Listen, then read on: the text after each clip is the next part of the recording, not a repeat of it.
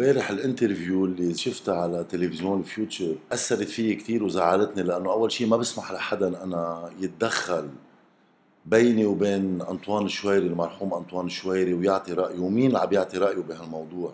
شغلة مؤسفة ناس ما لهم شيء بقلب النادي. بدي أسألهم هول اللي عم يتهموا إيلي مشنتف برفع دعوة على أنطوان الشويري وهيدي الأكاذيب اللي عم تطلع كلها اللي منا موجودة وما ما في شيء من الصح منها.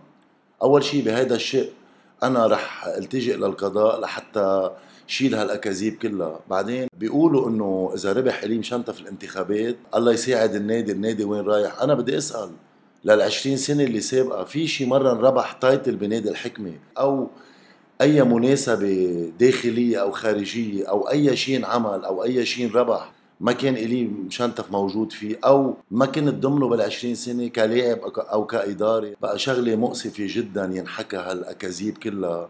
بس حتى آه، يخلقوا آه، شغلات منا مزبوطة. بعدين أنا أكيد إنه هول الجماعة اللي عم يحكوا هن وما عندهم قرار. فما عندهم إلا يجرحوا بالناس على كل حال. الوقت رح يجي وكل الصور رح تتضح وكل الأمور رح تتضح.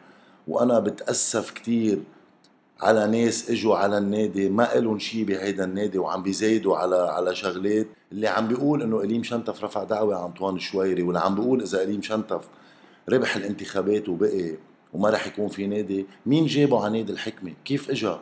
بتسوية مع جورج شهوان جابه من بيته ليشتغل ما بيعرف لعيب بقلب النادي ما بيعرف شيء بالباسكتبول ما لهم علاقة بالرياضة. وأنا تكون واضح بالنسبة لهالموضوع. أنا إذا بترجع لإلي العملية وبيربحوا هني الانتخابات ما بيشرفني يكون موجود بلعبة باسكتبول. فأنا بس حبيت اوضح هذه الصورة لأنه عن جد شغلة مؤسفة.